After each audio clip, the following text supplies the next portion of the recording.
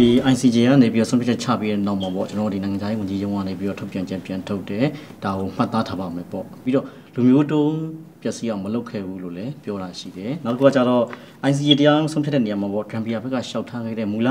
ရှောက်ထားချက်ကခိုင်လုံမှုရှိမရှိနဲ့ပတ်သက်လို့မှန်ကန်စင်ဆုံးဖြတ်ဖို့အတွက်မြန်မာနိုင်ငံအတွက်အရေးကြီးတယ်လို့လည်းသူထုတ်ပြန်လာရှိတယ်ဆင်မအဲ့တော့ဒီပုံမှာ Gambia ဘက်ကလည်းကြိုးစားပါတယ်ဆိုပြီးတော့သူကတူတုတ်ပြန်ပြောထားတာကိုကျွန်တော်တို့တွေ့ရတယ် တွေ့ရတယ်ဆိုတော့မြန်မာဘက်က ICA တရားဝင်ဆုံးဖြတ်ချက်ကိုပေါ့နိလိုက်နာဆောင်ရွက်မယ်ဆိုတဲ့သဘောမျိုးလားဒါမှမဟုတ်ရင်ဒါမှတ်သားထားပါမယ်လို့ပြောတဲ့နိုင်ကြားရင်းဝဲထုတ်ပြန်ခြင်းပုံမှာဆင်မဘယ်လိုမြင်လဲအဲ့ဒါလေးအဲ့တော့လေခုနကပြောခဲ့သလိုပဲအစိုးရအနေနဲ့ကတော့ဟိုမှတ်သားထားရုံနဲ့ပြောုံနဲ့တော့မလုံလောက်ဘူးဒီထက်ရှင်းလင်းထိချတဲ့အဖြေကိုပြေးပြီးမှဖြစ်မယ်နောက်ပြီးတော့အန်တီကတော့ပူပေါင်းဆောင်ရွက်စေချင်တယ်အဲ့ဒီထဲမှာအန်တီတို့အခွင့်အလမ်းတွေအများကြီးဖန်တီးယူလို့ရပါတယ်ပေါ့နော်အန်တီကယူအာကမ်ဘောဒီးယားတို့ဗီယက်နမ် တို့ရဲ့အတွေ့အကြုံကိုအန်တီကသင်ခန်းစာယူစေခြင်းနဲ့ပေါ့နော်အာကမ်ဘောဒီးယားဒီမိုကရက်တိုင်ဇေးရှင်းဖြစ်စဉ်မှာ UN ကရင်တို့အများကြီးရသွားတာတွေရှိတယ်ပေါ့နော်အဲ့တော့ဒါပေမဲ့ UN လို့ခေါင်းစဉ်တက်တော်လဲပဲတကယ်တမ်းရတာဂျပန်ကပေါ့နော်ဂျပန်ကအခုကိုယ့်နိုင်ငံကိုလည်းတရုတ်ကဂျပန်ကအရန်ကိုဟို favor ပေးနေတဲ့အချိန်တွေမျိုးမှာပေါ့နော်ဒီအခြေအနေကိုအခွင့်အလမ်းဒီအခွင့်အလမ်းတရက်အနေနဲ့ယူပြီးတော့ပေါ့နော်အာဒီဒီဖြစ်စဉ်မှာနိုင်ငံအတွက်အမြတ်ရအောင်ကြိုးစားစေချင်တယ် အမြတ်ရအောင်လုပ်ရမယ့်ကိစ္စတွေအများကြီးရှိတယ်ခုနလိုပေါ့နော်ဒီရခိုင်ပြည်ကလူနည်းစုကိုသာမကဘူးတနိုင်ငံလုံးမှာရှိတဲ့လူနည်းစုတွေကိုကာကွယ်နိုင်မဲ့လက်နက်ကင်တပ်ဖွဲ့တွေရဲ့ရန်ကရင်ကာကွယ်နိုင်မဲ့အစီအစဉ်တွေကိုကိုယ်နိုင်ငံဇရိတ်နဲ့မဟုတ်ပဲသူများနိုင်ငံဇရိတ်နဲ့လုပ်နိုင်မယ်အဲ့ဒါတခုလုံနိုင်ရင်ကိုအတီတို့ကတော်တော်လေးကို institutionalize ဖြစ်သွားမယ် human ဆရာရဲ့စကားလုံး human security ပေါ့နော် လူသားတွေရဲ့လုံခြုံမှုအတွက်ကိုကိုကအမတန်ဆင်းရဲနေတဲ့နိုင်ငံတစ်ခုက international ဇရိတ်နဲ့လူသားတွေရဲ့လုံခြုံမှုကိုဒီနိုင်ငံမှာလုတ်ပေးလိုက်နိုင်တယ်ဆိုလို့ရှိရင်ကိုတော်တော်လေးကိုကောင်းသွားမှာဖြစ်တယ်ပေါ့နော်ဒါကြောင့်မလို့အန်တီကတော့သူတို့နဲ့ပူးပေါင်းဆောင်ရွက်စေချင်တယ် professional measure ကိုလုပ်ပါလုပ်ပါအမျက်ထွက်အောင်ကိုယ့်အတွက်အမျက်ထွက်အောင်လုပ်ပါလို့နော် ညထုတ်ဘူးပေါ့ဟုတ်ကဲ့အဲကိုအနေနဲ့ပေါ့နော်လက်ရှိနိုင်ငံရေးရုံးကထုတ်ပြန်ထားတဲ့အခြေအနေပုံမှာပေါ့လေတချို့ကလည်းရှင်းလင်းပြတ်သားမှုမရှိဘူးပြတ်သားမပြောဘူးဆိုတော့ဝေဖန်တိုင်းလည်းကျွန်တော်ကြားရတယ်ကြားတော့အခုအနေနဲ့သဘောထားအမြင်ဘယ်လိုရှိလဲပြောပါအောင်လားကျွန်တော်တို့အမြင်ကလည်းခုနပြောသလိုပဲမရှင်းလင်းတဲ့အခါကျတော့ light လုံမလားမလုံဘူးလားနောက်တစ်ချက်ကဆရာမပြောသလိုအမျက်ထွက်အောင်လုံနိုင်မလားမလုံနိုင်ဘူးလားတော့မိကုန်းတွေကအများတန်းရှိနေအမျက်ကျွန်တော်တို့ယူမယ်ဆိုရင်ဆရာမပြောသလိုတကယ်အမျက်အများကြီးယူနိုင်တယ် ဒါပေမဲ့ကျွန်တော်တို့အစိုးရတည်ယူနိုင်လောက်တဲ့အခြေအနေရှိရလားဆိုတာကျွန်တော်တို့မှာတန်တရားအများနဲ့ဖြစ်။ဘာကြောင့်လဲဆိုတော့2015နောက်ပိုင်းမှာကျွန်တော်တို့ democratization တော်တော်လေးပြောင်းလဲမှုအရှိန်ဟုန်မြင့်သွားမယ်လို့ကျွန်တော်တို့မျှော်မှန်းခဲ့ကြဘူးတယ်။ဒါပေမဲ့အခုလက်ရှိအချိန်မှာကျတော့ကျွန်တော်တို့တချို့မျှော်မှန်းချက်တွေနဲ့နည်းနည်းလွဲတဲ့အခါကျတော့အခုပိုဆိုးတာကဒါကြီးဒီ national security နဲ့ဆိုင်သွားပြီ။တကယ်တော့အမြတ်သူတို့ယူနိုင်မှာမလား။ယူနိုင်မယ်ဆိုတော့ကျွန်တော်တို့အတွက်အရန်ကောင်းတယ်။တကယ်ကိုဒါကြိုးစိုးရမယ်အခွင့်အလမ်းပေါ့။ ဒါပေမဲ့အခွင့်အလမ်းကိုမယူတတ်ရင်ခုနပြောသလိုနောက်ကနေချင်းချောက်မှုကဝင်လာမှာဆိုတော့အခွင့်အလမ်းကိုမစုပ်ကင်မိပဲနဲ့ချင်းချောက်မှုကိုစုပ်ကင်မိမှာကျွန်တော်တို့ကတော့ကြောက်တယ်အဲ့တော့ခုနပြောလို့ရှင်းရှင်းလင်းလင်းလေးဒါနဲ့ပတ်သက်ပြီးတော့ဘယ်လောက်ထိလိုက်လို့မလဲဟုတ်ဘယ်လောက်ထိအစိုးရဒီလိမ္မာပတ်သက်ဆိုတာလုပ်နိုင်မှာလဲဒါမှမဟုတ်ခုနပြောလို့ okay တစ်ဖက်ကပြောလို့ဟိုဆိုလိုတာကျွန်တော်တို့ extremist ပေါ့တစ်ဖက်ဆုံးအရန်မရောက်စေချင်ဘူးဂျားထဲမှာကိုယ့်အတွက် national security အတွက် national interest အတွက်ဘယ်လောက်ထိအမြတ်ယူနိုင်လဲဆိုတာလည်းကစားစေချင်တယ်ဟုတ် ဆိုတော့တစ်ဖက်ကိုလိုက်ပြောလိုက်တယ်ကွာဘာပဲပြောတစ်ဖက်နားရေးပြီးရောဆိုတော့သွားရင်ဆိုရင်တော့ဒါကျွန်တော်နိုင်ငံအတွက်လုံးဝ minus ပြတယ်ဟိုအဆိုးဆုံးအခြေအနေတွေပါရောက်သွားနိုင်တယ်ဟိုပေါ့လောလောဆယ်မှာတော့ကျွန်တော်တို့မတိတာသေးပြီမဲ့ရေရှည်မှာနိုင်ငံသွားတဲ့လမ်းကြောင်းမှာအခက်အခဲဖြစ်တာမျိုးတွေဖြစ်နိုင်မှာစိုးရိမ်နေဆိုတော့အဲ့ဒါလေးကိုတော့ရှောင်ပြီးလုံးနိုင်မယ်ဆိုတော့ကျွန်တော်တို့ဒါကအခွင့်အလမ်းလည်းဖြစ်နိုင်သလိုကျွန်တော်တို့အတွက်ဒါဖြည့်ရှင်းနိုင်မယ့်နည်းလမ်းတစ်ခုလည်းဖြစ်ကောင်းဖြစ်မယ်မလုံးတိုင်ရင်တော့ကျွန်တော်တို့ပြဿနာအကြီးကြီးတက်နိုင်တယ်ပေါ့ဒီလိုတော့ကျွန်တော်တို့သုံးသပ်ပါတယ် ဒီ ICJ ကဆုံးဖြတ်ချက်ချတဲ့အကြောင်းရင်းတွေကိုကျွန်တော်ပြန်ကြည့်မယ်ဆိုရင်ဒီကုလသမဂ္ဂလူခွင့်ရေးကောင်စီကနေဖွဲ့ပေးထားတဲ့မြန်မာနိုင်ငံဆိုင်ရာတီးခြားလွတ်လပ်တဲ့အချက်လက်ရှာဖွေရေးအဖွဲ့ပါလို့ဆွမ်းနာပြောတဲ့ fact finding mission ပေါ့ဒီ mission ကပေးတဲ့အချက်လက်တွေပုံမှာသူအများကြီးအခြေခံသွားတယ်ဒါတွေကိုအချင်းချင်းထပ်ပြီးတော့ညှိုးသွားတာမျိုးတွေလည်းကျွန်တော်တို့တွေ့လိုက်ရတယ်။တွေ့လိုက်ရဆိုတော့ဒီ mission ကိုမြန်မာလက်လက်မခံထားဘူးပေါ့နော်။ဒီတော့မြန်မာရဲ့အစီရင်ခံစာဒီဒီ mission ရဲ့အစီရင်ခံစာတွေမှာမြန်မာဘက်ကအတန်ပါမသွားတဲ့အနေအထားမျိုးလို့ပြောပါမှာပေါ့။အဲ့ တော့ဒီလိုမြန်မာဘက်ကအတန်ပါပါပဲနဲ့အတန်တစ်ဖက်အတန်ပေါ့ကမ်ဘီယာဘက်ကတင်တယ်ဒီ fact finding mission ကရရှိတဲ့အချက်လက်ပုံမှာပဲတရားရုံးကနေပြီးတော့ဆုံးဖြတ်သွားတဲ့အနေအထားဟာဒါမြန်မာဘက်ကိုနစ်နာသွားစေတယ်တရားရုံးတစ်ခုအနေနဲ့ဆောင်ရွက်တင်တဲ့အနေအထားမျိုးမြန်မာအတွက်နောက်စီမှာတင်ငန်းစာယူရမယ့်အခြေအနေမျိုးလို့ဆိုရင်ရောဘယ်လိုသဘောရလဲမှန်ပါတယ်သင်ခန်းစာကတော့ယူသင့်တယ်အစကတည်းကကျွန်တော်တို့က fast finding mission ကိုလုံးဝညှင်းပယ်ခဲ့တယ်ဆိုရင် အဲ့တော့မိကုန်းထုတ်เสียတော့ရှိတယ် fast finding mission ကအချက်လက်တွေကိုယူပြီးတော့တရားစွဲဖို့လုပ်တဲ့ ICG ကိုဘာလို့ကျွန်တော်တို့တရားရင်ဆိုင်မှုသွားလဲဆိုတော့မိကုန်းကရှိတယ်ဒါကတော့နည်းနည်းဟိုတိတ် straight ဖြစ်ပါတယ် ဟုတ် လုံးဝပညာရှင်မဆန်ပဲတည့်မိတဲ့ဟာမျိုးပူပေါင်းခဲ့ဘူးကိုယ့်ဘက်ကအတန်ကိုလည်းမရှိဘူးအဲ့ဒါနဲ့ပတ်သက်ပြီးတော့စီရင်ချက်ချမယ့်နေရာတခုကိုသွားတယ်ဆိုတော့ကျွန်တော်တို့လက်စင်းခံတဲ့ပုံစံမျိုးလို့ဖြစ်သွားစေတယ်ဒါကတစ်ချက်ပေါ့အဲ့တော့မပူပေါင်းဘူးဆိုနောက်ပိုင်းပြန်ပူပေါင်းမလားဒါဆိုဘယ်လိုအနေထားနဲ့ပူပေါင်းမလဲကျွန်တော်တို့ဘက်ကဘာတွေပြောပြနိုင်မလဲ အဲဒါတွေတော့ပြန်စဉ်းစားဖို့လိုလိမ့်မယ်ကျွန်တော်တို့အခုမြင်တာကအစိုးရအနေနဲ့သူတက်နိုင်တဲ့လောက်တက်ဆွမ်းတဲ့လောက်တော့စူးစမ်းပြီးလုပ်နေတာပဲဟုတ်ဆီယမစကားပြန်ကောင်းအောင်လို့ရှိရင်တကယ်မဟာဗျူဟာကြာကြာသွားနေလားအစီအစဉ်တခြားချထားရလားဒါနဲ့ပတ်သက်ပြီးဘယ်လိုမျှော်မှန်းထားလဲဆိုတော့ကျွန်တော်တို့ကမမြင်ရဘူးဖြစ်နေတယ်ဟုတ်အဲ့တော့ဘယ်လိုဖြေရှင်းမလဲဆိုတာထက်ကျွန်တော်တို့ဘယ်လောက်ထိပပနက်နက်နဲ့ဒီဟာကိုပူပေါင်းလှုပ်ဆောင်နိုင်မလဲဆိုတဲ့ဟာကအခုချိန်ထိအဖြေမရှိသေးတဲ့မိကုံးလို့ဖြစ်နေတယ် လိုက်လျောမှာလားလိုက်လျောမယ်ဆိုလည်းကျွန်တော်တို့ကအဆုံးစုံလိုက်လျောမှာကိုလည်းကြောက်ရသေးတယ်မလိုက်လျောဘူးဆိုလည်းဟိုကိုယ့်ဘာကိုလှုပ်ချင်သလိုလှုပ်မှာကွာဆိုတဲ့ပုံစံမျိုးဖြစ်မှလည်းကြောက်ရသေးတယ်ဆိုတော့ဘယ်လိုလှုပ်မယ်ဆိုတဲ့အစိုးရရဲ့သဘောထားကတော်တော်လေးမှန်းရခက်တော့အဖြေဒီအခုချိန်ကြီးကျွန်တော်တို့မှလက်ခဲတင်းလင်းပေါ့အဲ့တော့အဲ့လိုလက်ခဲတင်းလင်းဖြစ်တဲ့အခြေအနေများလာလေလေကျွန်တော်တို့ကမိကုန်းတွေကစက်တိုက်ထွက်လာလေတန်တရားဖြစ်လာလေလေအထူးသဖြင့်ကျွန်တော်တို့ရှိမှာကမြန်မာနိုင်ငံဆိုတဲ့အတိုင်းပဲ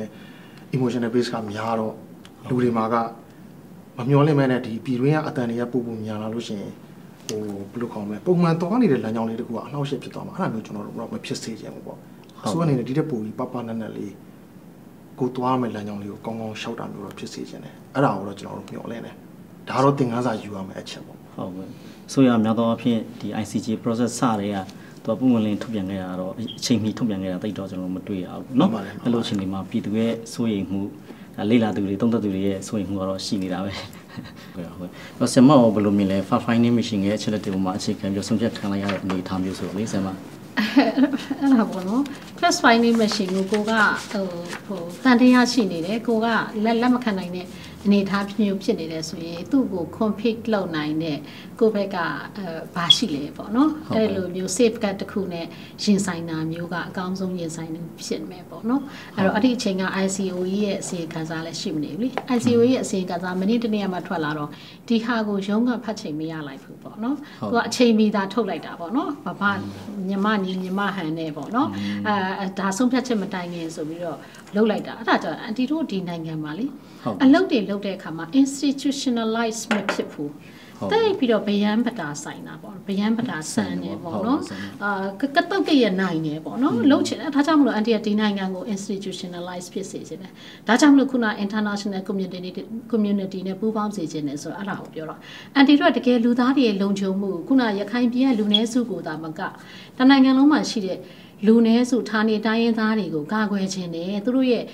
human security ပေါ့နော်အန်တီကတော့ national security ဆိုတာထက်အန်တီကတော့လူသားတွေရဲ့လုံခြုံမှုကိုပို့ပြီးတော့တန်ဖိုးထားတယ်ပေါ့နော်အဲ့တော့လူသားတွေရဲ့လုံခြုံမှုကိုတန်ဖိုးထားတဲ့နိုင်ငံတနိုင်ငံအနေနဲ့ဒီနိုင်ငံကိုဖြစ်စေခြင်းတယ် institutionalize ဖြစ်စေခြင်းတယ်ဒါကြောင့်မလို့ခုနကကိုလက်မခံနိုင်တဲ့ first finding machine ကြီးရှိနေပြီဆိုရင်ပေါ့နော်ဒါဆိုရင်အဲ့ဒါကို compete လုပ်နိုင်တဲ့ဟာတခုကကို့မှာ ready ရှိနေရမယ်အဲ့တော့ ICOE စီရင်ခံစာကအရန်ကိုနောက်ကျပြီးတော့မှထွက်လာတယ်နောက်ပြီးတော့ထိပ်ပြီးတော့လဲဒါက ဟိုဟိုအဲ့ဒီမှာပညာရှင်တွေခန့်ထားတာအစလေအာဒီဒီကော်မရှင်ကိုဖွဲ့စည်းထားတာအဆုံးပေါ့နော်အဲ့ဒါတွေကဒီပြည်တွင်းကပညာရှင်တွေကတော့ပြန်ပြီးတော့ international ကယုံကြည်ဖို့ဆိုတာထက်ကိုယ့်ပြည်တွင်းမှာရှိတဲ့ပညာရှင်တွေကတော့ဒါကိုလက်ခံဖို့ဟိုဒီကောဒီဟာဖွဲ့စည်းတဲ့အပေါ်မှာရောဒီအစဉ်ခံစာမှာဖော်ပြထားတဲ့အကိစ္စတွေအပေါ်မှာမေးခွန်းထုတ်စရာတွေရှိနေတယ်ပေါ့နော်ဒါကြောင့်မလို့အန်တီကလေဟိုဒီကိစ္စတွေကိုဂင်တွယ်တဲ့နေရာမှာပေါ့နော် အာဒါက bureaucrat တွေကြီးပဲလုပ်ရမယ်လို့မဟုတ်ပညာရှင်တွေဥပဒေပညာရှင်တွေကြီးပဲလုပ်ရမယ်လို့မဟုတ်ဘူးပေါ့နော်အန်တီကအဲ့လိုပြောလို့ခုနဟိုဘယ်လိုပြောမလဲဥပဒေရုံးကဆရာကြီးတွေဆရာမကြီးတွေမလေးစားလို့ပြောတာမဟုတ်ပါဘူးဥပဒေရုံးကဆရာဆရာမကြီးတွေအခုခန့်ထားတဲ့ပညာရှင်တွေဆိုတာကဟိုသိပါတယ်သူတို့ရဲ့ပညာရေးဆိုင်ရာကိစ္စတွေလုပ်နိုင်မှာဒါပေမဲ့နိုင်ငံကိုဘက်ဆောင်ထောက်ဆောင်တွေးဖို့ကြတော့နိုင်ငံရေးသမားလိုအပ်တယ်ဟုတ်တယ်ဟုတ်တယ်နိုင်ငံရေးသမားမှာအောက်တက်ကြည်တဲ့နိုင်ငံရေးသမားလိုအပ်တာ ဟုတ်ကဲ့ခုနကပေါ့ဒီထက်မှာပါနေတဲ့နိုင်ငံရေးသမားကခုနအန်တီတင်ပြသလိုမျိုးတိုင်းနဲ့ပြည်နယ်အဝမ်းမှာလက်နက်မဲ့ပြည်သူလူထုကလက်နက်ကင်အင်အားစုတွေကဘလို့နှိမ့်ဆက်အနိုင်ကျင့်နေတာကိုမသိတဲ့နိုင်ငံရေးသမားမျိုးအဲ့ထဲမှာရှိနေတယ်ဆိုသူ့ရဲ့နိုင်ငံရေးအတွေ့အမြင်သည်ဟုတ်ကဲ့အရန်ကိုကွာနေလိမ့်မယ်လက်တွေ့အခြေအနေနဲ့သူပြောတဲ့ကိစ္စတွေသူ့ရဲ့ဆုံးဖြတ်ချက်တွေကလူထုရဲ့လိုအပ်ချက်နဲ့လွဲနေလိမ့်မယ်အန်ဒီကဒါကြောင့်မလို့ fast finding machine ကိုလက်မခံနိုင်ဘူးဆို fast finding machine ကိုပြိုင်နိုင်တဲ့ ဟုတ်ဟာကို့မှာဘာရှိတယ်နော်ပေါ့နော်ကိုကကိုယ့်ရဲ့ ICO ကြီး report ကအဲ့ဒါကိုရှင်းနိုင်လားပေါ့နော်ကိုယ့်ရဲ့ level ကဘာလဲသူတို့ချပြန်သုံးသက်စေချင်တယ်ပေါ့နော်ဒီထက်ရှင်းနိုင်တဲ့ဟာတစ်ခုကိုပေါ့နော်အန်တီတို့ဟိုတမတမရှိရှိပေါ့နော်အလုပ်လုပ်ဖို့လိုတယ်ပေါ့နော်အဲ့တော့ကိုကြီးကျွန်တော်တို့ဒီရခိုင်ဒေသမှာဆိုရင်ဘင်္ဂါလီတွေရဲ့အကြမ်းဖက်မှုတပ်ဖြတ်မှုတွေပေါ့လေကြည်ပါအုပ်ချုပ်ရေးမှုကိုတပ်ဖြတ်တာတို့သူတို့ဒီဟိုလက်မခံလို့တပ်ဖြတ်တဲ့ဆိုဖြစ်စဉ်တွေကဒီ2019အကြမ်းဖက်တိုက်ခိုက်မှုမတိုင်ခင်ပေါ့ တော့ချော့ဖြစ်ခဲ့တာကျွန်တော်တို့လည်းသတင်းတွေမှာတွေ့ရတယ်ဒါသတင်းတွေလည်းကျွန်တော်တို့ရေးခဲ့ရတဲ့အခြေအနေမျိုးရှိခဲ့တယ်ပေါ့လေအခုဆိုရင်အေးလက်နက်ကိုင်ရဲ့အဖွဲ့အစည်းရဲ့ဒါလှုပ်ရှားမှုတွေကလည်းဒီဒေသမှာတော်တော်များများရှိလာတဲ့အခြေအနေလို့ပြောရမှာပေါ့အဲ့လိုပြိပခါတွေရှုပ်ထွေးနေတဲ့အခြေအနေမှာအခုဒီ ICJ ရဲ့ဆုံးဖြတ်ချက်ကြောင့်ပေါ့လေအဲအကြမ်းဖက်တိုက်ခိုက်မှုတွေကိုကျူးလွန်ခဲ့တဲ့ဒီအာဆာနဲ့အစွန်းရောက်ဘင်္ဂါလီတွေအတွက်ခွင့်သာစေမဲ့အနေအထားပေါ့တော့အကြမ်းဖက်မှုကိုရဲတင်းလှုပ်ဆောင်လာနိုင်မဲ့ဒီခေါင်းစဉ်အောက်ကနေပြီးတော့ အကြမ်းဖက်မှုကိုရဲတင်းလှုပ်ဆောင်လာနိုင်မဲ့အခြေအနေမျိုးဖြစ်သွားမယ်လို့ဆိုရင်မိလားอืมအဲ့ဒါကိုကျွန်တော်တို့ကဘယ်မှာသွားတွေ့လဲဆိုတော့ဒီအချက်၄ချက်မှာဒုတိယမြောက်အချက်ပေါ့ဟုတ်တမလို့ပါဝင်တခြားစီမံခန့်ခွဲဒီလုံခြုံရေးနဲ့ဆိုင်တဲ့အဖွဲ့အစည်းတွေဒီဒေသမှာဒီခုနပြောတဲ့ဘင်္ဂါလီတွေပေါ့ပြည်မှုတွေမကျူးလွန်ဘူးတခြားလူတွေကနေပြည်မှုဆိုလိုတာကဟိုဘယ်လိုခေါ်မလဲတာမန်လှုပ်တဲ့အလုပ်တွေမှာတော့မှအကန့်အသတ်လေးတွေပို့ပြီးတော့ရှိလာနိုင်တယ်ဒါကတော့ဟိုပေါ့ ဒီအစိုးရဘယ်လိုဆက်သွားမလဲဆိုတဲ့လမ်းကြောင်းဒါပေမဲ့ကျွန်တော်တို့ကဘာကိုပြန်စဉ်းစားလဲဆိုတော့အခုလုံးလုံးဆယ်ဒီထွက်ပြေးသွားတယ်ဆိုတဲ့ဘင်္ဂါလီတော်တော်များများကတစ်ဖက်နိုင်ငံရဲ့ကုတူပါလောင်စကန်ထဲမှာရှိတယ်ဟုတ်ကျွန်တော်တို့ဒီဘက်ကလိလာရရှိသမျှလောက်တော့အချက်လက်တွေရ ARSC ရဲ့တကယ်ကို main set တော်တော်များများကအဲ့ဒီ scan ထဲမှာယုံနှောပြီးနေကြတော့မယ်နောက်တစ်ချက်ကထပ်သိရတာကအဲ့ဒီ2016 2019နောက်ပိုင်းမှာသူကလူရင်းအားအဲ3000ကနေ4000ကြားလောက်ကိုလူငယ်တွေကြီးပဲသူတို့စုပြီးတော့ အမာကန်အနေနဲ့ထားထားတယ်ထားထားတယ်ဆိုတော့အခုလောလောဆယ်ဒီတခြားကိစ္စအတာထားလိုက်ပါတော့ဒီ ICJ ဆုံးဖြတ်ချက်အတာထားကျွန်တော်တို့ပြန်လည်လက်ခံရေးလုပ်တော့မယ် repatriation လုပ်တော့မယ်ဆိုတော့ကျွန်တော်တို့ကအရန်စီစစ်ပြီးနေရမယ့်အနေအထားဟုတ်ဟုတ်တော့ပြန်ပါလာတဲ့အထဲမှာအခုသတင်းတွေမှာလည်းတွေ့ဦးမှာပဲဟိုကျွန်တော်တို့နှစ်နိုင်ငံဘင်္ဂလားဒေ့ရှ်နဲ့ bilateral ညှိတယ်ပြန်ဝင်လာဖို့လုပ်တယ်မလာဘူးသူတို့ကသူတို့သူသဘောလျောင်းနဲ့ဝင်လာတယ်အဲ့ထဲမှာပြန်စစ်လိုက်တဲ့အခါမှာကျတော့ခုနပြောသလို ARS နဲ့ချိတ်ဆက်နေတယ်ဆိုပြီးတော့တန်ကြားရှိတဲ့လူတွေပါလာတယ် အဲ့တော့လုံခြုံရေးပိုင်းအရကြည့်မယ်ဆိုရင်တော့ဒီလိုမျိုးကျွန်တော်တို့ပြန်လက်ခံရတဲ့အချိန်မှာလုံခြုံရေးပိုင်းဆိုင်ရာအရာဒီ ICJ ရဲ့ပြောထားတဲ့အချက်ကသွားညှိရင်တော့ကျွန်တော်တို့ကနောက်တစ်ချိန်ပေါ့အစိုးရတစ်ဆက်ပြောင်းသွားတဲ့အချိန်မှာဒါမျိုးတိုက်ခိုက်မှုဖြစ်လာမှာဆိုတဲ့သုံးသက်ချက်တော့ရှိတယ်။အဲ့တော့ရခိုင်ပြည်စင်တော်တော်များများကိုကျွန်တော်တို့ပြန်လေ့လာတဲ့အခါမှာဒီအနောက်ပိုင်းဒေသတစ်ခုဟိုးအဝေးတွေကပေါ့ဒီဥနုခစ်တောက်ထဲကနေဒီဘက်ချိန်ကြီးပြန်ဆင်းတဲ့အခါမှာအစိုးရတစ်ဖွဲ့နဲ့တစ်ဖွဲ့အကူပြောင်းဖြစ်တဲ့အချိန်တို့ မြန်မာနိုင်ငံရဲ့နိုင်ငံရေးအားနည်းနေတဲ့အချိန်မျိုးတို့မှာအဲ့ဒီဘက်ကဒီလှုပ်ရှားမှုတစ်ခုခု movement တွေထွက်လာတာတွေ့တယ်။ဟုတ်ပဲတွေ့ရဆိုတော့အဲ့ဒါကိုကျွန်တော်တို့ကပြည်သုံးလဲဆိုတော့1988ပတ်ဝန်းကျင်မှာလည်းမောင်တော်မှာဖြစ်ခဲ့ဘူးတယ်။နောက်ပိုင်းဒီတက်မတော်အာနာသိမ့်ပြီးတဲ့အချိန်နောက်ပိုင်းမှာအတန်မကြားဘူး။2010ဦးသိန်းစိန်တက်လာပြီးတဲ့အချိန်မှာတော့ကျွန်တော်တို့ဒီမှာ2010မှာတီတာဘက်ကိစ္စဖြစ်တယ်။ဒီဘက်ထပ်ပြောင်းတယ်2016 2019ဆိုတော့အစိုးရတစ်ခုအပြောင်းလဲတိုင်းအပြောင်းလဲတိုင်းမှာနည်းနည်းဘူဖန်ကကြီးလာတဲ့သဘောရှိတယ်ဆိုတော့အဲ့ဒါမျိုးဖြစ်မလားဆိုတော့ သုံးသက်ချက်ကတော့ရှိတယ်။အဲ့တော့ဒီခုချမှတ်လိုက်တဲ့ချမှတ်ချက်ကိုလိုင်းလာရင်လည်းဒီလိုမျိုးလုံငွေပိုင်းဆိုင်ရာအားနေဘူးမဖြစ်အောင်တော့ကျွန်တော်တို့ကဆူတောင်းရမှာပဲဖြစ်သွားရင်တော့ဒီတစ်ခါဆိုပူဆိုးသွားမယ်လောကကိုင်ရလည်းပူခက်သွားမယ်အနေထားရှိတယ်လို့တော့သုံးသပ်တယ်ဟုတ်ကဲ့ဆင်မပြီးခဲ့တဲ့ဟို23ရက်နေ့ ICJ တရားရုံးရှိမှာပေါ့နော်ဒီဘင်္ဂါလီအရေးလှုပ်ရှားသူပေါ့တယောက်ကပြောတာမှလည်းရှိတယ်ဒါဒီအာဆာဆိုတဲ့အဖွဲ့ပေါ့ဒီလိုတိုက်ခိုက်မှုတွေကကမ်နေတဲ့မှာမခံမရနိုင်ဖြစ်တဲ့လူငယ်တွေကနေထကြွပြီးတော့ ဟိုလောက်ကင်တဲ့အခြေအနေမျိုးလို့သူကဒါပြောသွားတဲ့စကားလုံးကိုကျွန်တော်တို့တွေ့လိုက်တယ်လို့ဆင်မနေကလည်းအဲ့လိုဆိုရင်မျိုးရှိလားဒီဆုံးဖြတ်ချက်ကြောင့်ဒီမှာအခွင့်သွားတော့မယ်သူတို့ပို့ပြီးတော့ motivate ဖြစ်သွားမယ်ဆိုတဲ့အနေအထားမျိုးဆုံးရှိရှိလားဒီဒီကိစ္စကစိုးရိမ်စရာကောင်းတဲ့အချက်ဖြစ်တယ်မှန်တယ်ဒါပေမဲ့အန်တီတို့မလုပ်နိုင်တဲ့ကိစ္စမဟုတ်ဘူးကာကွယ်နိုင်တယ်ဟုတ်ကဲ့အန်တီတို့မှာအကြမ်းဖက်မှုတိုက်ဖျက်ရေးဥပဒေဆိုတာလည်းရှိပြီရှိပြီလားဟုတ်ကဲ့နောက်ပြီးတော့အန်တီတို့ဒီမှာတရားရုံးကသုံးသွားတဲ့စကားလုံးတွေနော်သိတ်ကောင်းတယ် short take measures လို့နော် measure ပထမတစ်ဆင့်ကသူကအစီအစဉ်တွေလုပ်ရမယ် နောက်တစ်ခါဒုတိယတစ်ချက်က ensure ပေါ့နော် government အဲဒီဒီဒီမြန်မာနိုင်ငံပေါ့မြန်မာနိုင်ငံက ensure လုပ်ရမယ်ပေါ့နော်ပေချအောင်စီမံရမယ်ဆိုစကလုံးတွေပြောသွားတယ်ပေါ့နော်အဲ့ဒါတွေဟာပေါ့နော်အန်တီတို့အခုလို2008နဲ့အန်တီတို့2008 crisis ဖြစ်နေတယ်လို့ပြောနေတဲ့အချိန်မှာအန်တီအန်တီမပြောဘူးနော်ဟုတ်ဟုတ်အန်တီက2008ကိုအန်တီက crisis ထက် opportunity ကိုပို့ပြီးမြင်ဖွဲ့စည်းမြင်ပုံတဲ့လူဆိုတော့အခြေခံဥပဒေအခါကျတော့နော်ပေါ့အဲဟုတ်အဲဖွဲ့စည်းပုံအခြေခံဥပဒေနဲ့ပတ်သက်ပြီးတော့ဟုတ်ဟိုပြောချင်တာကအဲ့တော့2008ကို crisis လို့ယူဆထားသူတွေအနေနဲ့အခုဒီ professional measures မှာ ICT ကသုံးသွားတဲ့စကားလုံးတွေ share take measures တို့ ensure တို့နံပါတ်2မှာ ensure တို့ဆိုတာတိတ်ပြီးတော့2008ကို ဖောက်ထွက်လို့ကောင်းတဲ့အခြေအနေတွေဖြစ်တယ်ပေါ့နော်ဒီ professional measures တဲ့ဒါကြောင့်မို့အန်တီကတော့အဲ့ဒီ me take measures တို့ ensure ဆိုတဲ့စကားလုံးတွေကိုတွေ့တာနဲ့တင်မယ်တော်တော်လေးကိုအန်တီကဟိုထွက်ပေါက်တစ်ခုကိုတွေ့ရတယ်လို့ဝမ်းသာတယ်ပေါ့နော်ဟုတ်ကဲ့ခုနကအာစာကိစ္စစိုးရိမ်နေဆိုရင်အန်တီတို့မှာအကြမ်းဖက်မှုတိုက်ဖျက်ရေးဥပဒေရှိပေးတာဟုတ်ကဲ့နော်အဲ့ဒါသိပြီးတော့အကြမ်းဖက်မှုတိုက်ဖျက်ရေးဥပဒေဒီ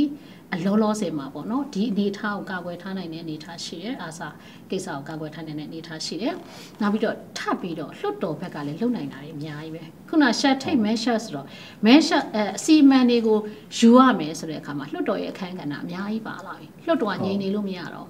ဘူးလွှတ်တော်ဒီဒီလေးလအတွင်းမှာနိုင်ငံနိုင်ငံတကာကိုတင်ပြနိုင်ဖို့အတွက်လွှတ်တော်ဒီအစီအစဉ်တွေလုံနိုင်တာတွေအများကြီးပါ ဟုတ်ကဲ့ เนาะဒါကြောင့်မလို့ဒါဟာနိုင်ငံခြားရေးဝန်ကြီးဌာန တစ်ခုတည်းလုပ်ရမယ်ကိစ္စမဟုတ်ပါဘူးလို့နော်မြန်မာနိုင်ငံမှာရှိနေတဲ့ image ပုံရိပ်ဆိုးကြီးကိုဖျက်ချင်ပြီဆိုလို့ရှိရင်နောက်မြန်မာနိုင်ငံ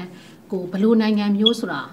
နိုင်ငံတကာကိုပြချင်ပြီဆိုလို့ရှိရင်လွှတ်တော်အနေနဲ့ပုံရိပ်ကောင်းတဲ့နိုင်ငံတစ်ခုကိုဖန်တီးဖို့အတွက်လွှတ်တော်မှာအခွင့်အလမ်းတွေအများကြီးရှိနေတယ်ဒီ၄လနောက်၄လနေတင်ရမယ်၄လအတွင်းမှာတင်ရတင်ရမယ် report အတွက်ကိုလွှတ်တော်ကအလုပ်တွေအများကြီးလုပ်လို့ရတယ် ပေါ့နော်အလုပ်တွေအများကြီးလုပ်လို့ရတယ်ဒါကြောင့်မလို့ဟိုလွှတ်တော်ကလည်းဒီကိစ္စငါတို့နဲ့မဆိုင်ဘူးနိုင်ငံခြားရေးဝန်ကြီးဌာနကလုပ်လိမ့်မယ်ဥပဒေပညာရှင်တွေလုပ်လိမ့်မယ်လို့မတတ်မှတ်ထားပါနဲ့เนาะ ဟုတ် လွှတ်တော်ဒီလေးလအတွင်းမှာ report လုပ်နိုင်အောင်လွှတ်တော်ကလုပ်ရမယ့်အလုပ်တွေကိုလည်းလုပ်ပါလို့အန်တီကဒီနေရာတိုက်တွန်းချင်တယ်ပေါ့နော် ဟုတ်ကဲ့ဆင်ပါဟုတ်အဲ့တော့ကျွန်တော်တို့ဒီ ICJ မှာကမ်ဘီယာကနေပြီးတော့ဒီလူမျိုးတုံးတပ်ဖြတ်မှုဆိုင်ရာကိစ္စနဲ့ပတ်သက်ပြီးတော့တင်တော့ဟာဟုတ်လားအေးအဖွဲ့ကအေးလမ်းကန်ခွဲကနေထောက်ခံနေကြိုဆိုတယ်ဆိုတဲ့ပုံစံမျိုးကျွန်တော်တို့တွေ့ရတယ်ဗောလေအဲ့တော့ဒီလိုအခြေအနေမှာပေါ့ဟို ICJ ကနေပြီးတော့ဘင်္ဂါလီတို့ကာဝယ်ဖို့အတွက် main ချိုက်တဲ့အခြေအနေမှာသူကဘင်္ဂါလီတို့ကာဝယ်ရေးဆိုတဲ့ခေါင်းစဉ်အောက်အောင်နေပြီးတော့เนาะအကြက်ရိုက်စီမဲ့အခြေအနေမျိုးရှိနေတဲ့ဒါမြန်မာလုံခြုံရေးတပ်ဖွဲ့တွေပေါ့သူကအခွင့်ကောင်းယူပြီးတော့ ထိုးနဲ့တိုက်ခိုက်မှုတွေဒါမှမဟုတ်ရင်လည်းဟိုသူတို့ရဲ့အိမ်မက် လို့ပြောတဲ့အခြေအနေတွေမျိုးပို့ပြီးတော့တွန်းအားပေးဆောင်ရွက်လာနိုင်တဲ့အခြေအနေမျိုးရှိလာမယ်လို့ဆိုရင်မိလားအဲ့ဒါကလောလောဆယ်ကျွန်တော်တို့ကဘာကိုပြင်ကြည့်ရမလဲဆိုတော့ AA ရဲ့စပြီးတော့သူတို့တွားခဲ့တဲ့မူဝါဒပေါ့ပထမဆုံးကသူတို့ရခိုင်နိုင်ငံတော်ဆိုတဲ့ဟာနဲ့တွားတယ်နောက်ပိုင်းမှာကျတော့ Arakan Dream 2020အခုတော့2025ပေါ့နောက်9နှစ်တော့ပြန်ဆက်သွားတယ်ဟုတ်အဲ့တော့ကျွန်တော်တို့စဉ်းစားကြည့်တာကရခိုင်မြောက်ပိုင်းဒေသဆိုရင်တော့အခုလောလောဆယ် AA အနေနဲ့ဖြစ်နေတဲ့အပိုင်းကကြတော့အခု ဘူးသီးတောင်မောင်တော်ပဲပေါ့အဲ့ဒီဘက်ချမ်းကိုသူကမယူထားဘူးမယူထားဘဲနဲ့ဒီဘက်ကြောက်တော်မြောက်ဘူးမင်းပြအဲ့ဒီဘက်ချမ်းပေါ့ဆိုတော့အများသောအားဖြင့်ကျွန်တော်တို့ဒီပြန်လဲကွင်းစင်ကြည့်လိုက်မယ်ဆိုရင်တကယ်ဘင်္ဂလီအများစုနေခဲ့တဲ့နေရာဒေသမှာသူသိလှုပ်ရှားတာမဟုတ်ဘူးဒီဘက်ဒီရခိုင်ဒေသရခိုင်တွေအများစုရှိတဲ့နေမြေဒေသတွေကိုအခြေခံယူပြီးလှုပ်ရှားထားတာရှိတယ်သူ့အနေနဲ့ကတော့ကြိုးဆိုတယ်ဆိုပေမဲ့ဟိုကျွန်တော်ထင်တာအဲ့ဒါဆိုရင်တကယ်ကိုပေါ့ဒီဘင်္ဂလီတွေနဲ့ပတ်သက်ပြီးတော့သူတို့ ရခိုင်တိုင်းသားတွေစိတ်ထဲမှာဟိုးတုန်းကလည်းသူတို့ခံစားထားမှုတာတွေရှိတယ်အဲ့ဒါတွေနဲ့ပတ်သက်ပြီးတော့ဟိုနားလေခွန်နိုင်တဲ့သဘောလားဘာကြောင့်လဲဒါကတော့ကျွန်တော်တို့ကစဉ်းစားကြတစ်ခုပါကျွန်တော်ထင်တယ်သူကစစ်တပ်မတော်နဲ့အစိုးရကိုနည်းနည်းလေးဖိအားအဲ့နည်းနည်းဖြစ်စေချင်သူတယ်ကတော့ဖီအားဖြစ်စေခြင်းတဲ့ပုံစံဟုတ်မျိုးဒါပေမဲ့ဒါဆိုရင်သူတို့အရင်တုန်းကဟာဒီလိုဖြစ်တယ်ဟိုလိုဖြစ်တယ်ဘာကြောင့်ဟောဘယ်လိုခေါ်မလဲသူတို့အမြဲတမ်းပြောထားခဲ့တဲ့အစွန်းရောက်လူမျိုးရေးဝါဒ အဲ့ဒါကြတော့ဒီအချိန်မှာသူတို့ liberalize တော့တော့ပြန်ဖြစ်သွားလာပေါ့ဒါကတော့ကျွန်တော်နည်းနည်းစဉ်းစားကြရရှိတယ်ဒါပေမဲ့ဟိုပေါ့ तू ထောက်ခံတယ်မထောက်ခံတယ်ဆိုတာကသူ့ရဲ့လက်ရှိလှုပ်ရှားနေတဲ့နေမြေနေထားရပြောမယ်ဆိုတော့ effective မဖြစ်ပါဘူးဟုတ်ပါဒါပေမဲ့တစ်ခုရှိတာကထောက်ခံတယ်ဆိုပြီးတော့အဲ့ဒီဘက်ကိုသူတို့လှုပ်ရှားမဲ့နေပြီးရွှေ့သွားတယ်ဆိုတော့ဒါကျွန်တော်တို့ကအဲ့ဒါနဲ့ပတ်သက်ပြီးစဉ်းစားကြတစ်ခုဖြစ်လာလိမ့်မယ် အဲ့ဒါလေးကျွန်မဖြတ်ပြောချင်တယ်ဟုတ်ဒီကဲ့လားဆရာမဟုတ်အဲ့ဒါဘာလို့လဲဆိုတော့ तू ကကျွန်မတေးအဲ့ဒါတေးချဖတ်လိုက်တယ်ပေါ့နော်နံပါတ်1အချက်မှာတေးချပြောထားတယ် ensure လို့ကဘလို့ ensure အစိုးရအနေနဲ့ကတေးချစေရမယ်လို့ပြောထားတယ်အစိုးရဘာဒီကိုတေးချစေရကိုယ့်တက်မတော်ကမလုပ်ဖို့တွေဒီကိစ္စတွေမလုပ်ဖို့တွေအားမထုတ်ဖို့တွေကိစ္စမဟုတ်ဘူးတခြားသော irregular m unit တွေကိုပါခြားတာလောဝန်က်ကခံပဲမှာဟုတ်ကဲ့ဒါကြောင့်မလို့ AA ကအဲ့ဒီထဲမှာပါပြီးသွားပြီအဲ့တော့ AA ကဒါငါအတွက်အခွင့်အလမ်းကောင်းလို့တတ်မှတ်လို့မရအောင် သူ့ကိုပါတော်တော်လေးထိတဲ့ကိစ္စဖြစ်တယ်ပေါ့နော်ဒါကြောင့်မလို့နောက်တစ်ခါသူ့ကို support လုပ်တဲ့လူပေါ့နော်ဒါဒါ AA မှပြောတာမဟုတ်ဘူး any any irregular m unit နော် any ဆိုဘယ်လိုလက်နက်ကင်တက်ဖွဲ့မျိုးကိုမှဒီနေရာမှာဘာကိုမှဒီအလုပ်တွေကိုမဖြစ်အောင်အစိုးရကတာဝန် make sure လုပ်ရမှာ တာဝန်ယူရမှာအေးရသွားဒါလို့ကြောင့်မလို့လေ AA က AA ကအဲ့လိုမျိုးပြောလိုက်တယ်ကြိုဆိုတယ်လို့ပြောလိုက်တော့အန်တီကနည်းနည်းအံ့ဩပါတယ် तू ဒါအောင်မသိဘူးလားမသိဘူးပေါ့နော်နံပါတ်1ချက်ကို तू မသိဘူးလားမသိဘူးပေါ့ ensure လုပ်ရမယ်အစိုးရသည် ensure လုပ်ရမယ် not only တတ်မတော်တတ်မတော်တယ်မကဘူး any any irregular regular m unit တောင်မဟုတ်ဘူးเนาะ irregular m unit ကိုတော့မှဒီနေရာမှာလုံးဝမရှိစေဘူးဒီနေရာမှာဟိုဒီဒီအလုပ်တွေကိုမလုပ်စေဘူးဒီလူတွေအတွက်ပါတာဝန်ယူရမှာဒါကြောင့်မလို့အစိုးရအနေနဲ့တော့တော်တော်လေးဒါ heavy ဖြစ်ပါတယ် heavy ဖြစ်တယ် သူ ဟုတ် တယောက်တည်းနဲ့မလုပ်နိုင်တဲ့ကိစ္စဖြစ်တယ်ဒါကြောင့်မလို့အန်တီက international cooperation ကိုရယူပါဂျပန်နေတရုတ်တွေအလှုပ်ပေးပါမယ်ကိုယ့်ဘက်ကရင်ရက်တယ်ဆိုတော့အင်အားကြီးနိုင်ငံ ငံတွေရဲ့အကူအညီကိုယူပါကုလသမဂ္ဂနဲ့ UN နဲ့လက်တွဲပါဟုတ်ကဲ့ပါလက်တွဲပြီးတော့အဲ့ဒီမှာပေါ့နော်တကယ်ကိုပဲ reliable ဖြစ်တဲ့ group တစ်ခုကိုဖွဲ့စည်းပြီးတော့ဒါလုပ်ပါအဲ့ဒါဆိုရင် internationally international community ကလက်ခံနိုင်တဲ့အနေအထားတစ်ခုကိုအဲ့ဒီမှာဖန်တီးဖန်တီးလို့ရှိရင်ကိုကနောက်ခုနဆရာတို့စိုးရိမ်တဲ့ဟာတွေအလိုလိုစိုးရိမ်စရာမလိုတော့ဟုတ်ပြီဒါကြောင့်မလို့ပထမအဆင့်ကတိတ်အရေးကြီးတယ်ဒီလေးလမှာတင်မဲ့ report က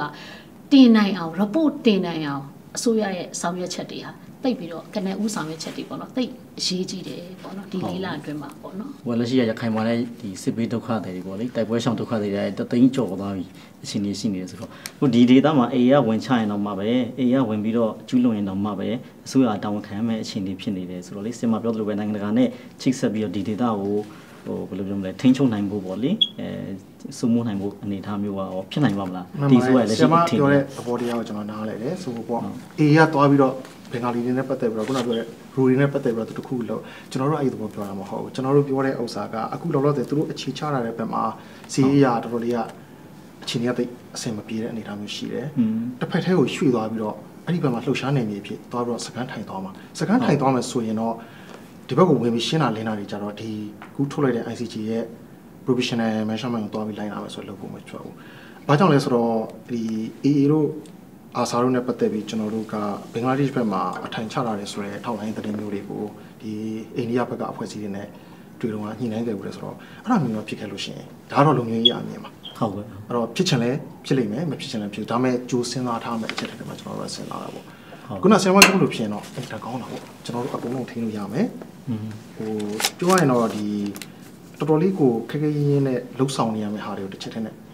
လုပ်လို့ရပါမယ်ဟုတ်အဲကျွန်တော်တို့ကကျွန်တော်တို့ဒီစကားပဲပြန်ထောက်အောင်ပါပဲကျွန်တော်လည်း blaming လုပ်တာနည်းနည်းများနေလို့တယ်အစိုးရဘယ်လောက်ကြီးလုံးပါလဲဘယ်လောက်ကြီးလုံးပါလဲလုံနိုင်ပါမလားသူကဆရာဆိုကျွန်တော်ကျွန်တော်အဲ့ဒါလန့်ကျွန်မကျွန်လည်းတော်ဆိုကရင်ပြဿနာအဲ့ဒါဆိုတော့အဲ့ဒါလုံနိုင်ရင်တော့ကောင်းတယ်ကောင်းတယ်မလုံနိုင်ရင်ကျွန်တော်တို့ကစေးကြောင်ပူလေးမှာအဲ့ဒါကိုကြောက်တာပါအဲ့ဒါလေးဟုတ်ကျန်တာကဟိုပေါ့ကျွန်မပြောလို့အခွင့်အလမ်းတွေလည်းကျွန်တော်တို့ကတော့အပြင်မှာဘေးကတတိယလူနေနဲ့ဝင်ထိုင်ခြင်းတော့အခွင့်အလမ်းတွေလည်းမြင်ပါတယ် ဒါပေမဲ့ခုနကပြောလို့မလုံတိုင်းရင်လည်းပြဿနာဖြစ်မဲ့ဟာတွေလည်းမြင်တဲ့အခါကျတော့အစိုးရကိုပဲကျွန်တော်တို့ကဒီမှာကလေးဖိပြီးစောင့်ကြည့်နေရလို့ပုံနိုင်ငံတကာနိုင်ငံတကာမှာအစိုးရဒါတောင်းဝန်ရှိဆုံးဘူးအဲတော့မရှိလို့သူက leading role ဝင်သွားတာဟုတ် leading role ဝင်သွားတယ်ဆိုတော့အားလုံးအတွက်လည်းအဆင်ပြေရမယ်အဆင်ပြေရမယ်အဖြေတစ်ခုသူဥဆောင်မှုတစ်ခုပေးရမှာဆိုတော့အဲ့လိုဖြစ်နိုင်မှာဆိုတော့ကောင်းပါတယ်ဟုတ်အဲဒါမှမဟုတ်မလုပ်နိုင်ဘူးဆိုတော့ကျွန်တော်တို့လည်းအဲ့ဒါတခြားမဟုတ်ဘူးအဲ့ဒါကိုစောင့်ကြည့်တယ်ဆိုတာတခြားကိစ္စကတော့သူတို့ဘယ်လောက်ထိလှုပ်ရှားနိုင်မလဲအဲဘယ်လို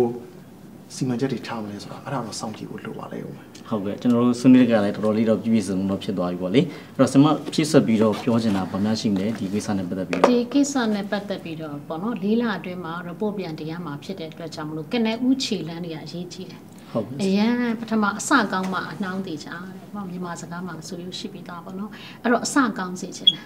အန်တီကအစကောင်း ဖို့စဉ်းစားတဲ့အခါမှာကိုယ့်ခြေလန်းတွေကိုစဉ်းစားတဲ့အခါမှာအစိုးရကိုတိုက်တွန်းချင်တာကရွေးကောက်ပွဲနိုင်ဖို့တက်တက်နဲ့တော့အဲ့ဒီခြေလန်းတွေကိုအဲ့ဒီရွေးကောက်ပွဲနိုင်ရေးဆိုတဲ့ line ပေါ်မှာအခြေခံပြီးတော့အဲ့ဒီခြေလန်းတွေကိုမှတ်လမ်းမိပါစေနဲ့လို့ဟုတ်ကဲ့ဆိုတော့နော်ယူဘာကြောင့်လဲဆိုတော့ကျွန်တိုင်းပြည်ရဲ့နောင်မျိုးကိုစဉ်းစားပါနောက်10နှစ်နောက်နှစ်20ငါတို့တိုင်းပြည်ကိုဘယ်လိုပုံစံမျိုးနဲ့ငါတို့မြင်ချင်တာလဲဆိုတော့အရှင်တွေးဟုတ်ကဲ့နောင်နှစ်20မြန်မာနိုင်ငံကိုဘယ်လိုပုံစံမျိုးနိုင်မြင်ချင်တာလဲဟုတ်နော် တရုတ်ကြီးဆိုသောနိုင်ငံတော်ကြီးမြင်ချင်တာလားတရုတ်ပြည်ရဲ့အစိပ်ပိုင်းအနေနဲ့မြင်ချင်တာလားပေါ့နော်အဲ့တော့ရွေးကောက်ပွဲနိုင်ဖို့ဆိုတဲ့အခြေအထိုင်မှာထားပြီးတော့စဉ်းစားပြီးတော့ကနေဦးခြေလန်းတွေကိုလှမ်းပါလားပေါ့နော်ဟုတ်ကိုဖြစ်စေကိုဖြစ်စေခြင်းနဲ့မြန်မာနိုင်ငံတော့ဟာဘယ်လိုမျိုးလဲဆိုတော့တေးသေးချာတေးချာတော့မှနော်တေးသေးချာတေးချာတော့မှဟုတ်ကိုယ့်ရဲ့ကနေဦးခြေလန်းတွေကိုလှမ်းပါလို့အန်တီကတိုက်တွန်းခြင်းတယ်ပေါ့စာနော်ကောင်းမှုလို့လည်းဟောဆင်စာပါကောင်းနော်မှုလို့ဟုတ်ကဲ့အခုကရောဖြစ်စပြောနေတာဘာများရှိမလဲ။ဟွန်းကျွန်တော်လည်းအဲ့ဒီပိုင်းမှာတော့ ဆီယမနဲ့တော်တော်လေးသဘောချင်းတူပါတယ်။ခုနကျွန်တော်တို့နိုင်ငံရေးပိုင်းမှာတိုက်ရိုက်စိတ်ဝင်စားတော့ခုနပြောလို့လုံခြုံရေးပိုင်းပေါ့လုံခြုံရေးပိုင်းနဲ့ပြောရင်တော့ဟုတ်ပါတယ်။ခုနပြောလို့ပဲရုပ်ောက်ပွဲတစ်ခုတည်းနဲ့ကျွန်တော်တို့ကဒါကိုသွားပြီးတော့ဥတီလို့မရဘူး။တကယ်တမ်းကျွန်တော်တို့လုပ်တဲ့ဥစ္စာဟာအကောင်းအဆိုးသိကြပြီ။လုံးဝဘာလုပ်လိုက်ရင်ဘာဖြစ်မယ်ဆိုတာအောင်မှန်းနိုင်တော့ပြီဆိုတဲ့အချိန်မှာဒီကိစ္စကိုဆက်ပြီးလှုပ်စေခြင်းတယ်ဟုတ်မှားယွင်းပြီးလုံးပြီးလို့ရှရင်ဒီတက်ဆိုးတဲ့အကျိုးဆက်တွေအများကြီးကကျွန်တော်တို့ကရေရှည်ကြီး ခုနကပြောတဲ့နောင်လာနောင်သားတွေအကုန်လုံးကျွန်တော်တို့ကအမွေးပေးခဲ့ရမှာဟုတ်ဆိုတော့အဲ့လိုမျိုးမဖြစ်စေချင်ဘူးတစ်ချိန်ချိန်မှာကျမှဟာတမိုင်းကိုပြန်လာတဲ့အချိန်မှာဒီလူတွေကတော့ကွာငါတို့မျိုးဆက်တွေကိုဒီလိုမျိုးလုပ်ခဲ့လားဆိုတဲ့ဟာမျိုးကျွန်တော်တို့မဖြစ်စေချင်ဘူးအကောင်းဆုံးနဲ့အဆင်ပြေဆုံးအဖြေတစ်ခုဘာလုပ်သင့်တယ်ဆိုတာကိုဆုံးဖြတ်စေချင်ပါတယ်တစ်ခုခုမှားယွင်းခဲ့လို့ရှရင်နိုင်ငံတော်လည်းမကောင်းပါဘူးနောင်မျိုးဆက်တွေအတွက်လည်းကျွန်တော်တို့အန်ဒီကြီးနိုင်တဲ့အချက်မလို့ဒါကတော့အစိုးရအနေနဲ့သေချာစဉ်းစားပြီးဘာလုပ်သင့်တယ်ဆိုတာဆုံးဖြတ်ဖို့လိုတယ်လို့ပဲပြောချင်ပါတယ် ဟုတ်ကဲ့အခုလိုကျွန်တော်တို့11ရုပ်တံကိုဒီ ICJ ကဆုံးဖြတ်ချက်နဲ့ပတ်သက်ပြီးတော့အချိန်ပေးပြီးတော့လာရောက်ဆွေးနွေးပေးတဲ့အတွက်အထူးပဲကျေးဇူးတင်ပါတယ်ဆရာမနော်ကျေးဇူးပါဟုတ်ကဲ့အခုကျေးဇူးပါမယ်နော်ကျေးဇူးပါပဲကျေးဇူးတင်ပါတယ်ဟုတ်